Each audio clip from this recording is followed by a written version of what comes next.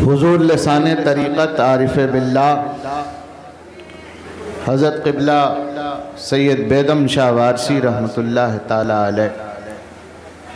फरमाते हैं कि अल्लाह रे तसव्वुर की नक्काशी और नए रंगी।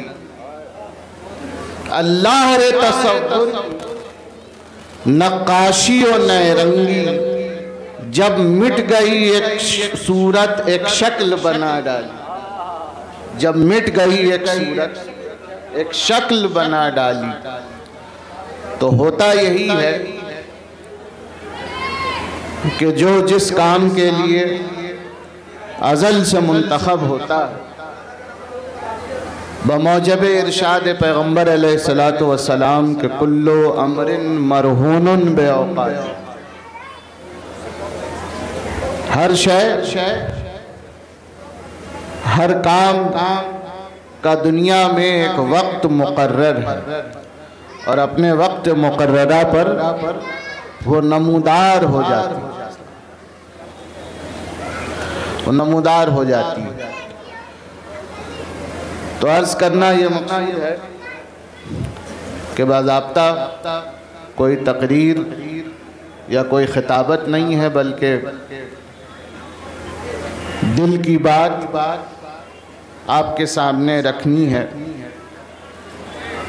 अंदाज बयां गरचे, बहुत शौक नहीं है। शायद के तेरे दिल में उतर जाए मेरी बात।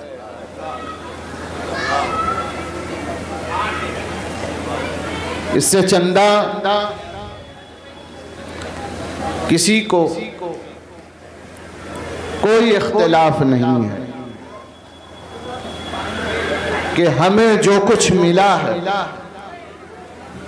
सब अल्लाह के महबूब का सदका बल्कि यूँ कह दें कि सब मिलाद मुस्तफ़ा का सदका हम जिस दुनिया में जीते हैं, खाते पीते हैं, सांस लेते हैं, चलते फिरते हैं, ज़िंदगी गुजारते हैं, कायनात रंगीन की बहारों को देखते हैं अपने अयाम ज़िंदगी गुजारते हैं। ये ईद है, ये बकर ईद है, ये त्यौहार हैं, ये शादियाँ हैं, ये खुशी के मौाक़े हैं, ये एरास हैं, ये मजलिसें हैं, ये ज़िक्र की महफिलें हैं।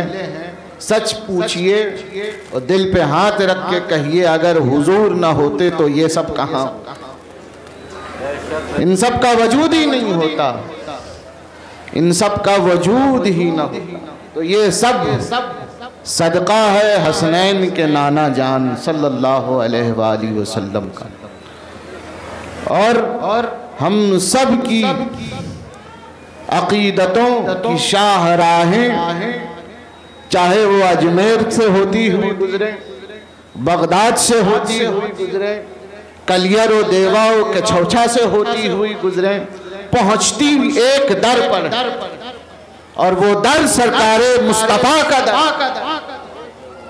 और इसी दर पर जो रास्ता इस दर तक आता है वही मकबूल बारगाह। और जो किसी और डगर पे ले जाए किसी और दर पे ले जाए वो कहीं और तो पहुँच सकता है खुदा तक नहीं। खुदा तक पहुँचना है तो मुस्तफ़ा तक पहुँचना पड़ेगा। कोई तरीकत, कोई शरीयत, कोई मारफत। तालीमत मुस्तफ़ा के अगर मनाफी है, शरीयत मुतहरा से अगर बगावत है तो फिर वो मुस्तरद मरदूद खिलाफ पैम्बर कसे रह गुजी के हरगिज ब मंजिल नखाहद रसी कि तरीक़ा मुस्तफ़ा को छोड़ देना। ये न कोई शरीयत है, न तरीक़त है। न ये खानकाहियत है, बल्कि ये खा मखाहियत है अशरीत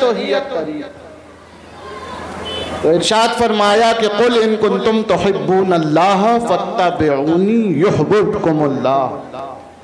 व यगफिर लकुम जुनूबकुम वल्लाहु गफूरुर रहीम।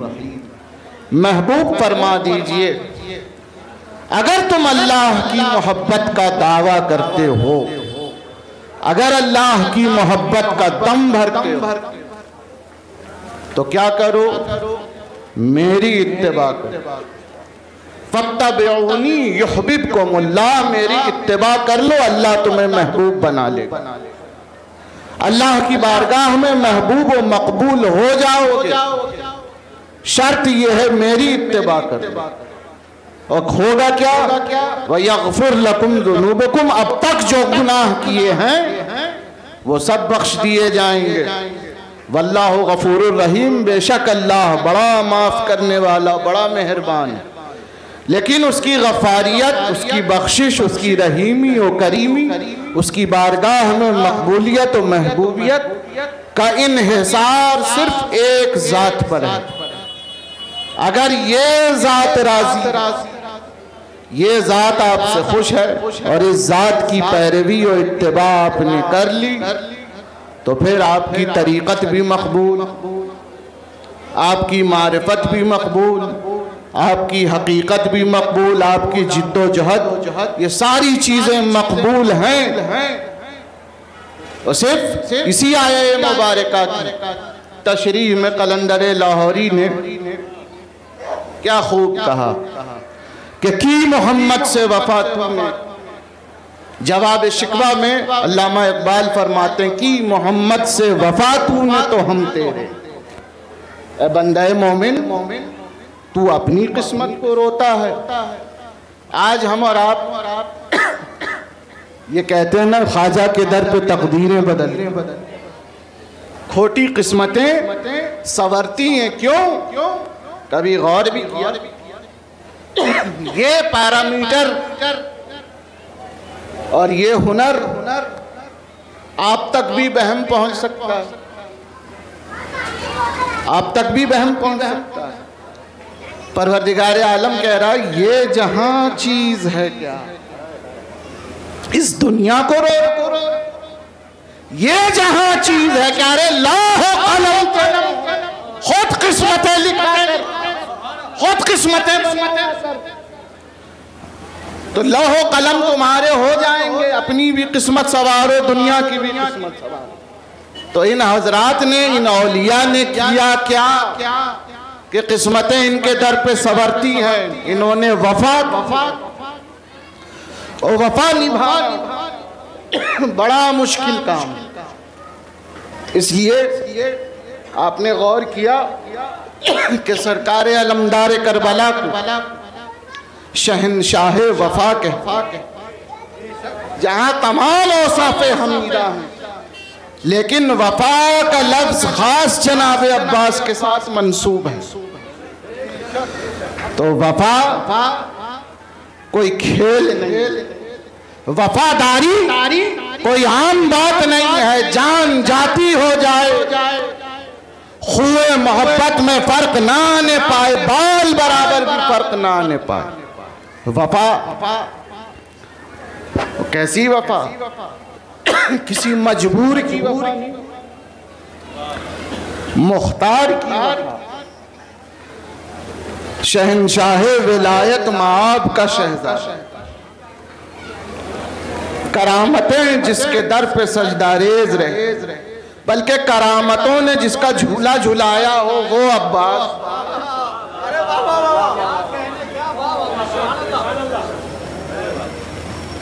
एक इशारा अबू तुराब का लाल कर दे। तो मिट्टी की मजाल है कि अपना सीना चीर कर चश्मा न निकाले। इख्तियारात होने के बावजूद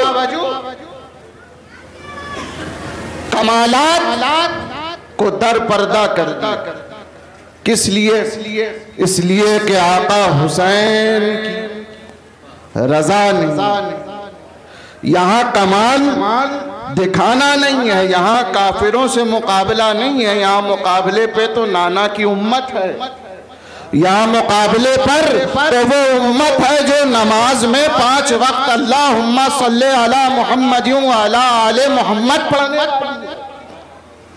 इनको क्या कमाल दिखाने? इनको क्या कमाल दिखाए तो ये ये मुख्तार थे। मुख्तार हैं। लेकिन अपना कमाल नहीं दिखाया। क्यों इसलिए कि रजा? अब आप अब आप जरा गौर करें कि जिसकी नज़र नज़र के इशारे पर निज़ाम कायनात हो। और ये बात मैं यूँ ही अर्ज़ नहीं कर रहा, बल्कि हमारे आका मौला, हुजूर सरकार आलम पना इरशाद फरमाते हैं, सुना सुना, आशिक के ख्याल पर निज़ाम कायनात। इसलिए अब बात समझ में आई कि आशिक खुदा का मर्तबा इतना बड़ा होता है। कि हज़रत जुन्नून मिस्री रहमत से रिसाल कुशहरिया में नकल है कि किसी ने पूछा कि मनिल फ़कीर फ़कीर किसे कहे? तो फरमाया, मन ला जो अल्लाह तबारक व से किसी शय की हाजत नहीं रखता, उसे फ़कीर कहते अब आप गौर करें कि अल्लाह तबारक व ताला की बारगाह में हाजतें सब पेश करते लेकिन जो अल्लाह से भी हाजत तलब न करे तो हाजत तलब करेगा क्यों? इसलिए कि अल्लाह तबारक व ने उसे वो दर्जा अता किया कि फरमाया, मन कान अल्लाह कान अल्लाह के जो अल्लाह का हो जाता है अल्लाह उसका हो जाता। तो अल्लाह से हाजत हाजत यूँ तलब नहीं करते कि इसलिए कि अल्लाह तबारक व ताला जो जन्नतियों को अता फरमाएगा आखिरत में वो इस दुनिया में अल्लाह ने अपने बंदे ख़ास को अता किया। आपने किसी रिवायत में आज तक सुना? तकारीर में आज तक सुना कि अहले जन्नत जन्नत में जाने के बाद अल्लाह से किसी चीज़ के लिए दुआ करेंगे? कभी सुना जन्नती लोग जन्नत में जाने के बाद भी किसी शय की तलब करेंगे, आरज़ू करेंगे? नहीं करेंगे। क्यों नहीं करेंगे? इसलिए कि वो जिस चीज़ की तमन्ना करेंगे। वो जिस चीज़ की आरज़ू करेंगे, वो सामने रूबरू हाजिर तो ये जन्नत में जाने के बाद होगा, लेकिन इसी दुनिया में सरकार आलम पना इरशाद फरमाते हैं, सुना सुना, आशिक के ख्याल पर निज़ाम कायनात। तो जिसके ख्याल पर कायनात का निज़ाम चलता हो, उसे दुआ करने की हाजत नहीं है ना? उसे दुआ करने की हाजत नहीं होती और ये सब कुछ मिलता है इत्तबाए मोहम्मदी में। हम अगर अहले बैत अतहार से मोहब्बत करते हैं तो ये भी सीरत का एक पहलू। और इस बात को जान रखिए और इस बात पर ईमान रखिए। कि सारी नस्बतें, सारी इज्जतें, सारी रिफातें सदका है ताजदार मदीना का। इनको नजरअंदाज करके, इनसे पहलू तही करके, न कोई इज़्ज़त वाला है, न कोई हुरमत वाला। अगर यहाँ नजरअंदाज किया, चूँकि ये बारगाह सबसे बड़ी बारगाह अगर अली विलायत महाब हैं, खातमुल विलायत कुबरा हैं तो ये सारा कमाल इसलिए है कि खुद फरमाते कुम तो अबदम मिन अबीद सल्लल्लाहु अलैहि वसल्लम, कि मैं हुजूर के गुलामों का अदना गुलाम है। ना? तो ये सारी बरकतें हैं मुस्तफ़ा की ज़ात की सर चश्मा रहमत हर एक के लिए। अहले बैत भी हैं तो हुजूर के हैं, सहाबा भी हैं तो हुजूर के हैं। ये नस्बतें उसी दर से जुड़ी हैं और उस दर के एहतराम में, उस दर की नस्बत के एहतराम में आप देखें कि आज नौजवान नस्ल हमारी बड़ी तेज़ी से शिकार हो रही है उस चीज़ की और उस रविश की। जो न खानकाहियत है, न सूफिज्म। है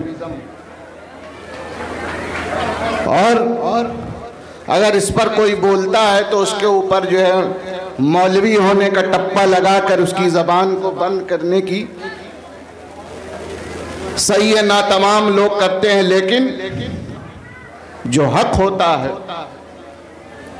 उसे किसी के आश्वासन और किसी की तायीद की ज़रूरत नहीं है। ये वो मुक़दस बारगाह है कि जिसके बारे में जनाब कुदसी फरमाते हैं, अदब गाहेस्त जेर आसमां अज अर्श नाजुक तर, नफस गुम करता मी आयत जुनैदो बा यजीदी जा। ये वो बारगाह है कि जहाँ बहुत संभल संभल बहुत संभल संभल के, बहुत संभल संभल के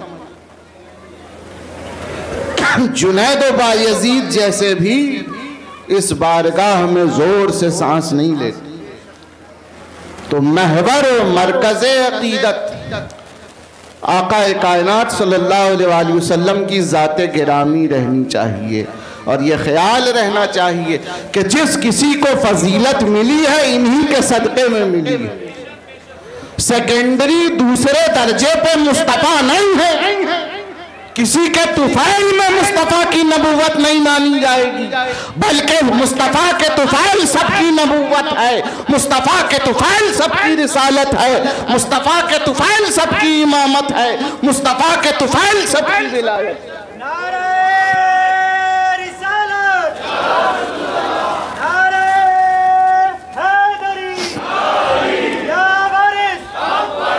तो अब ऐसे अशार से जो लोग कह देते हैं, वो तो कभी कभी फ़र्क मरातब का लिहाज नहीं रहता। तो मालूम ये होता है कि नौजबिल्ला रिसालत का काम इतना ही था कि पंजतन पाक को आगे प्रोजेक्ट करके चुपचाप खेमे में चले जाएँ। नहीं, बल्कि आप सीरत ताहिरीन को देखकर अंदाज़ा लगाए, सीरत औलिया का मुताला करके अंदाज़ा लगाए कि इनके दिल में कितना इश्क अब तक तो यही सुना कि रसूल के दिल में कितना इश्क अली है, कितना इश्क हुसैन है, कितना इश्क हसन है। अब इनसे पूछिए, इनके दिल में उनके जद की क्या मोहब्बत? सरकार इमाम जाफ़र सादिक अला सलाम छठे इमाम हैं अहले बैठ के। सादिक आले मोहम्मद आपका लकब है। आपके सामने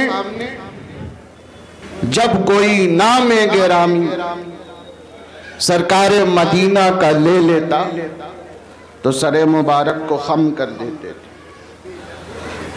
दो दूसरी मरतबा लेता और सर मुबारक तीसरी मरतबा लेता और सर मुबारक खम होता।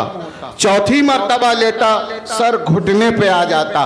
पांचवी मरतबा लेता, सजदे में सर रख ये इश्क रसालत है, अहले बैत के यहाँ।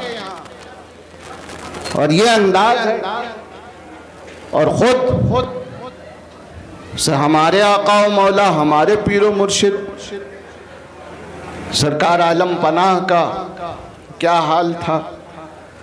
बचपन में हुजूर वारिस पाक के सामने अगर कोई सरकार दो आलम का नाम ले लेता था, सिर्फ़ नाम। या मदीना पाक का ज़िक्र छिड़ जाता था, एक चीख मारते और रोते रोते बेहोश होश आप अंदाज़ा कर सकते हैं, उस कल्ब में इश्क रसालत का कैसा दरिया मौजूद था कि सिर्फ़ महज नाम सुनते ही जिसकी आँखें भीग जाया करती हो। जो बेहोश हो जाया करता हो फिराके महबूब हकीकी के लिए, उसके दिल में जज्बा इश्क रसालत कैसा होगा? इसलिए फरमाया कि कुल तुम तो अल्लाह फत्तबेउनी अल्लाह से मोहब्बत का दावा है तो मेरी इत्तबा करो। अल्लाह तुम्हें अपना महबूब बना ले। इसलिए कहने वाले ने कहा कि आप महबूब हैं। अल्लाह के ऐसे महबूब कि हर मुहिब आपका महबूब खुदा होता। तो ये इत्तबा ऐसी इतबा है। अपने पीर खाने से सीखो। आज वारसी अगर सुन्नतों से बेबहरा है तो अपने आप अपनी इसलाह करे। इसलिए कि आपके पीर मुर्शिद ने कोई नया दीन नौजुबिल्ला नहीं पेश किया। वही दीन है, वही शरीयत है, जिस पर सारी उम्मत अमल पैरा। इतबा कब अच्छा एक चीज़ है इतात और एक चीज़ है इत्तेबा। दोनों में एक वाजह फ़र्क है। इतात का भी हुक्म अतीउल्लाह व रसूल इतात करो अल्लाह की और उसके रसूल की। और इस आयत में फरमाया कि इतात नहीं, इत्तेबा करो। इतात और इत्तेबा में क्या फ़र्क है? इतात है हुक्म। हुक्म रसूल हुक्म करें, उसको बजा लाना इतात है। और इत्तेबा ये है कि रसूल हुक्म न करें। लेकिन आपके इश्क का तकाजा हो। आपके इश्क का तकाजा हो कि आप अपने महबूब की हर अदा को अपनाएँ। यह है इतबा और दर्जाए एहसान, मंजिल एहसान जो है इतबा से मिलती है। इतात तो सब करते हैं। इतात सब करते, इत्तेबा से मंजिल मकसूद मिलती है। और इत्तेबा कैसी की? इत्तेबा हर हाल में मलहूज रखी। कि आखिर उम्र में जब सरकार वारिस पाक के दंदान मुबारक जुदा हो गए। ज़ाहिर है, बुढ़ापे में होता है। नेचर का एक साइकिल है। बच्चा जब, बच्चे के जब दांत निकलते हैं तो 10 साल की उम्र में से पहले फिर टूटते हैं। और 10 और 12 साल के बाद फिर दांत निकलते हैं। उसके बाद बुढ़ापे में वो टूट जाते हैं। तो हुजूर की उम्र मुबारक मुबारक। अट्ठासी साल, बरवायत दीगर छियासी साल। आखिर उम्र शरीफ में आपके दंदान मुबारक तमाम जुदा हो गए। और शुरू से ये आदत मुबारक आ रही कि जब भी खासा नोश फरमाया तो आपने खिलाल ज़रूर किया। जिसने सारी दुनिया तर्क कर दी, और जिसकी मिल्कियत में सिवाय एक कमली के एक कंबल के जिसका निस्फ आधा बिछता था और आधा बतौर चादर के मौसम के तकाजे के मुताबिक ओढ़ते थे। वो एक कंबल थे और एक थैला था कि जिसमें एक सुरमादानी, एक टंगा और खिलाल के तिनके थे। बस यही कुल कायनात थी। सरकार वारी से पाक की एक थैले में और ये थैला जिसे मिल जाता था वही खादी में खास होता था। और जिसने ता उम्र पचास बरस मुसलसल सौ में विसाल का रोजा रखा, सातवें दिन इफ्तार फरमाया, वो भी तीन चुटकी।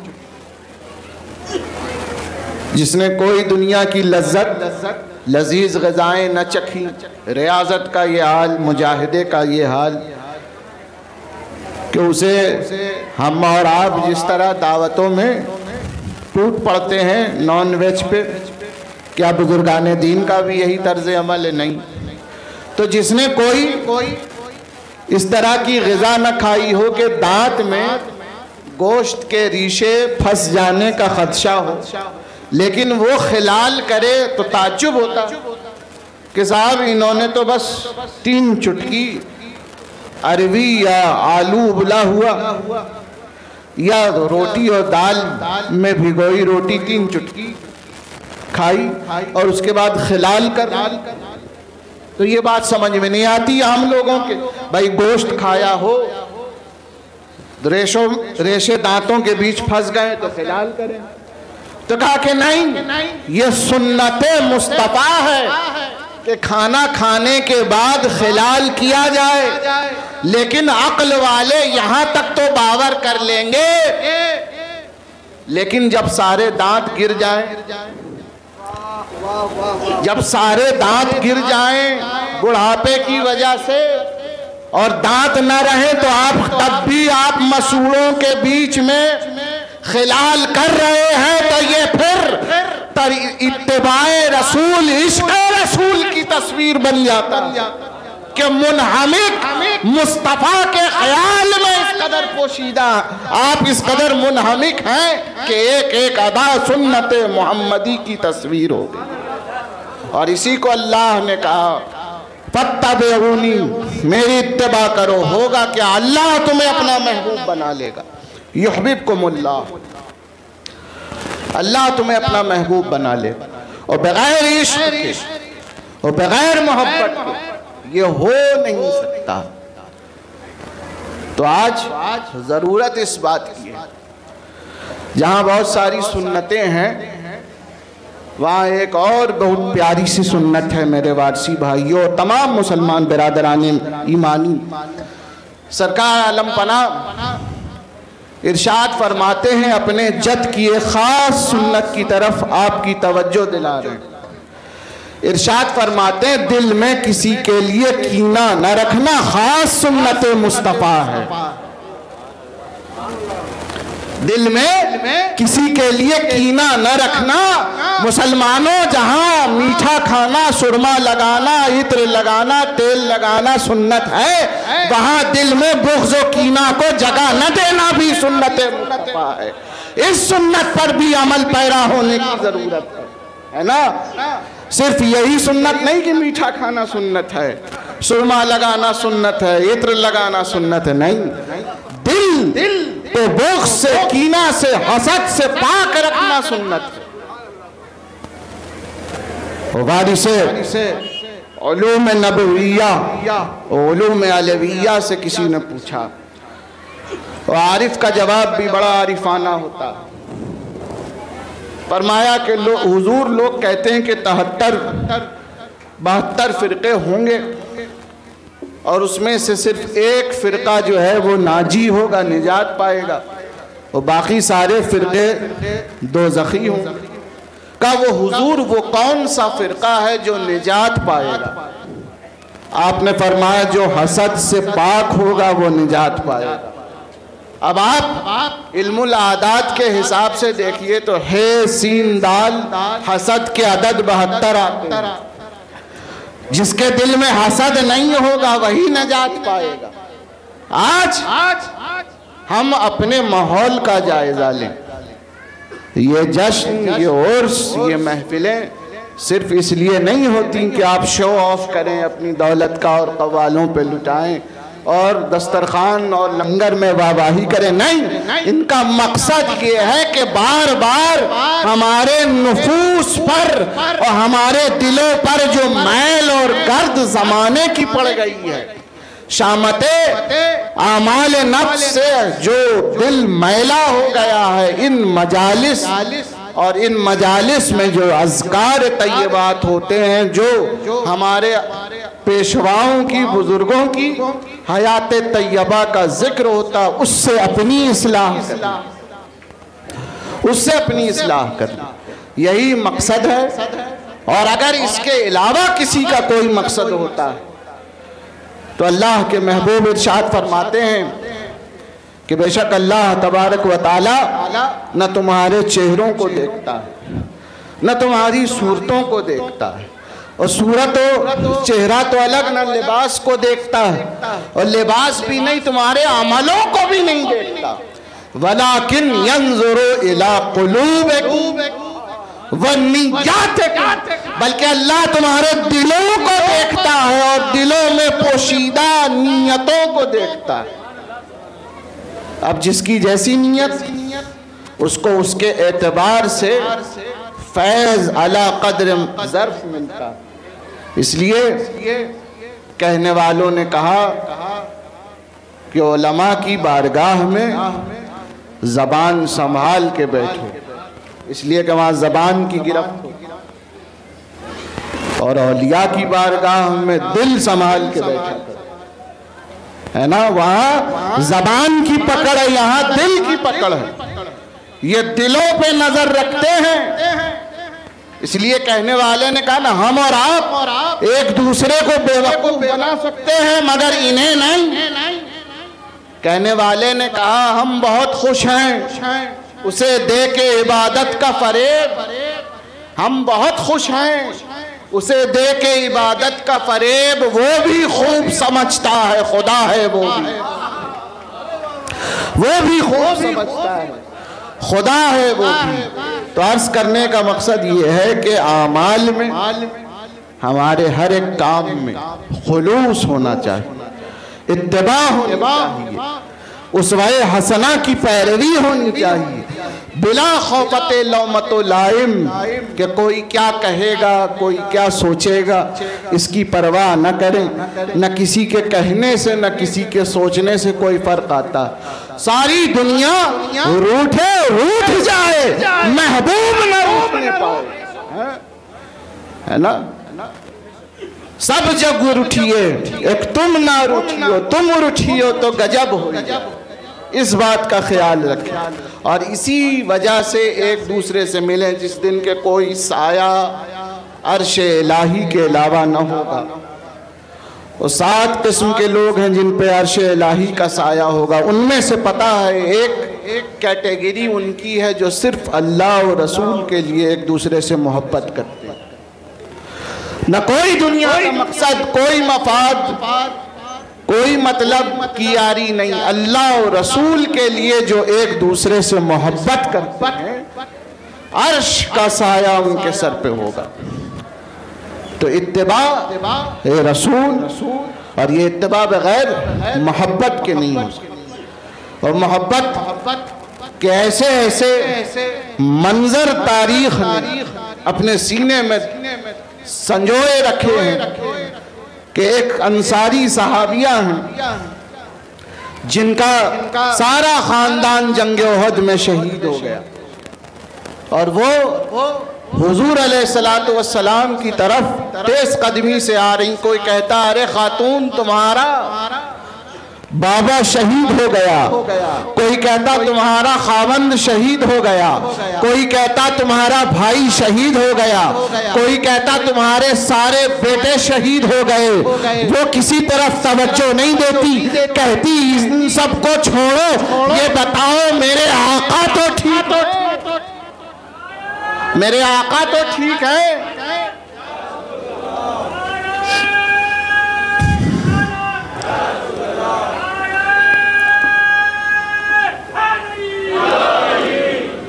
साहबा ने कहा, अल्हम्दुलिल्लाह, बकैद हयात हैं। फरमाती, ऐसे नहीं, मुझे मेरी आँखों से देख उस अंसारी सहाबिया को लोग बाजू थाम कर लेके दरबारे रसालत माब में हाजिर हुए।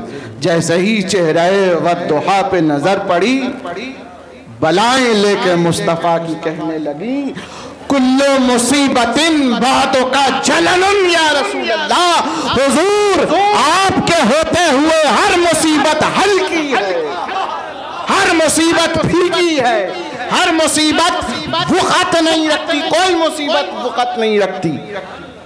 ये सिर्फ़ सुबह अल्लाह कहने के लिए मैंने नहीं सुनाया। अब इस पे गौर करें, एक औरत औरत जिसका बाप मारा जाए, खावंद मारा जाए, बेटे मारे जाएँ, शौहर मारा जाए, पूरा कुंभा एक दिन। में और उसके दिल में दिल में इश्क रसालत का ये आलम कि न बेटे की खबर पर ध्यान है न बाप की खबर पर ध्यान है न शौहर बे, बेटों और भाइयों की खबर पर ध्यान है फ़िक्र है। तो इस बात की कि आमना के चाँद पर कोई गजन न पहुँचे। कैसा इश्क होगा? अल्लाह अकबर। ये कहना बहुत आसान है। लेकिन प्रैक्टिकली इस मकाम तक जब ही पहुँच सकते हैं जब इश्क दिल और रूह में पेवस्त हो जाए और ये पेवस्त उस वक्त तक नहीं होगा जब तक इत्तेबा अच्छा इत्तेबा ऐसी चीज़ है कि जिसमें अक्ल का कोई दखल नहीं होता। ये भी आज करता चल। एक है इतात जो हुक्म है वो मानो मानो। माता कुमुर रसूल फ़खजू हो वमा नहा कुमन फनता जो रसूल दें, ले लो। जिससे रोक दें, रुक जाओ। यह है इतात और एक चीज़ है इत्तेबा। और इत्तेबा में अक्ल का कोई दखल नहीं ए इश्क हज़रत अब्दुल्ला बिन उमर रदी अल्लाह मदीने से मक्का जा रहे हैं सफ़र हज। हाईवे छोड़कर तकरीबन एक किलोमीटर अंदर गए। अच्छा दूसरी जेनरेशन है ताबईन की साथ साथ साहबा के सीख रही है। अब अंदर गए एक किलोमीटर। और अंदर जाने के बाद एक बबूल का बड़ा सा पेड़ था। उस बबूल के पेड़ के तीन चक्कर अपनी ऊटनी पे काटे। वो काटने के बाद फिर शाहरा पे वापस आ गए। फिर चले मक्के। तो आपके स्टूडेंट्स ने पूछा कि ये बात समझ में नहीं आई। भाई मेन रास्ता छोड़ के अंदर गए, फिर एक पेड़ के तीन चक्कर काटे और फिर वापस आकर फिर सफ़र जारी किया। इसका क्या मकसद? इसका क्या मतलब? और इसके पीछे वजूहत क्या है? तो आज कहते वजह तो मुझे नहीं पता। मैंने अपने महबूब को ऐसा करते देखा था तो मैंने भी ऐसा मैंने भी ऐसा किया। मैंने भी ऐसा किया। अकल का यहाँ दखल इत्तेबा हो रही है। इत्तेबा हो रही अकल का दखल हज़रत उस्मान गनी रज़ी अल्लाह तु वज़ू फरमा रहे एक जगह पर। वज़ू करने के बाद आसमान की तरफ़ चेहरा किया मुस्कुराए ताबई ने पूछा, आपने ऐसा क्यों किया? का ठीक इसी जगह। मेरे आका को मैंने वज़ू करते देखा। और जब वो वज़ू उन्होंने कर लिया तो आसमान की तरफ़ चेहरा किया और मुस्कुराए, मुझे वो अदा याद आ गई तो मैंने भी उसकी इतबा की। और यही वजह है कि मुरीद उस वक्त तक मंजिल मकसूद तक नहीं पहुँच सकता, जब तक अपने शेख की इतबा न इतबा न मंजिल मकसूद तक नहीं पहुँच सकता। तो आज, अगर हमारे अंदर कमियाँ हैं तो बात यह है कि हमने ज़बानी दावाए मोहब्बत तो किया है, लेकिन अमली मैदान में हम खाली ना हम अपने शेख की इतबा कर रहे हैं, न रसूल की इतबा कर रहे हैं। तो ज़बानी जमा खर्च से कुछ होने वाला नहीं है। अमल की सूखती रग में, ज़रा सा खून शामिल कर। फ़कत बातें बना के मेरे हमदम कुछ नहीं होता। यही चंद अर्जात, अर्ज़ गुजारिशें थी कि इतबाए शरीयत जैसा कि फरमाया कि हर शख्स पर पाबंदी शरीयत और इतबाए सुन्नत लाजिम है। तो वारसी वही है जो अपने आका व मौला के कौल पर अमल पैरा। है अल्लाह तबारक व ताली की बारगाह में दुआ है कि मौलाए करीम हम सबको सरात मुस्तकीम पर और इतबा महबूब करीम सलाम पर अमल पैरा होने की तोफ़ी पता फ़रमाए। व आखिर दावाना अलहमदिल्ला रबालमीन